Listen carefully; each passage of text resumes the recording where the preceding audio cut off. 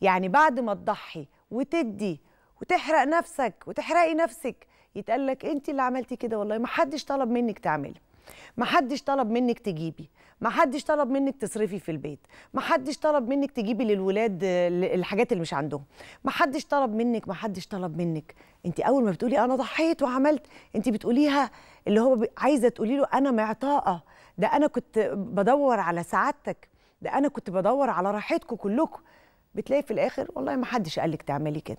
وده في حد ذاته زي سكينة سكينة وحد راح جه غرزها في قلبك. حقيقي. إحساس صعب كده. إحساس صعب جدا. عشان كده مهم جدا إن إحنا نعرف إزاي ندي ونضحي من غير ما نيجي على حساب سعادتنا من غير ما نيجي على حساب راحتنا. إزاي نحمي نفسنا من أي شخصيات بتحاول تستغل عطائنا وتضحياتنا. في شخصيات كده مصاصين دماء. ومصاصين تضحيات اللي هو تفضلوا يشفط منك كل حاجة حلوة أنت بتعملها. دي شخصيات بتستغل العطاء أي شخص معطاء سواء ست أو راجل. تلاقيه كده في حياته حد بيمتص عطائه هنعرف الشخصيات دي إيه؟ هنتعامل إزاي؟